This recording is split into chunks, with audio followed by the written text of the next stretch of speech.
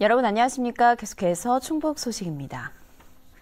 3월 초순에 해당하는 한낮 기온에 미세먼지까지 겹쳐 요즘 영 겨울 풍경이 아니죠.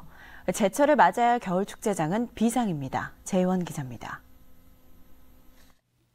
얼음 축제 개장을 앞두고 대형 얼음성을 쌓아가는 제천 의림지. 얼음 성벽의 표면 일부가 녹아내리자 연신 눈과 물을 뿌려댑니다. 그런데도 투명했던 얼음은 점점 뿌옇게 변해갑니다. 3m 높이 얼음벽이 녹아내리는 걸 막기 위해서 대형 차광막까지 동원됐습니다.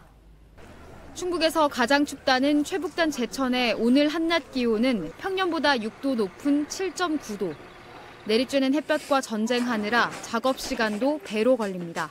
온도가 굉장히 좀 낮으면 조각칼이나 전기톱이 잘 이렇게 소화를 시켜주는데 따뜻하면 이게 푹푹푹 꽂히는 현상, 그러니까 좀 더뎌지죠.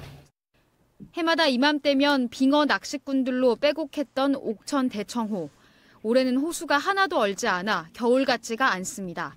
내년부턴 아예 물을 가둬 일부러 얼려볼 생각입니다.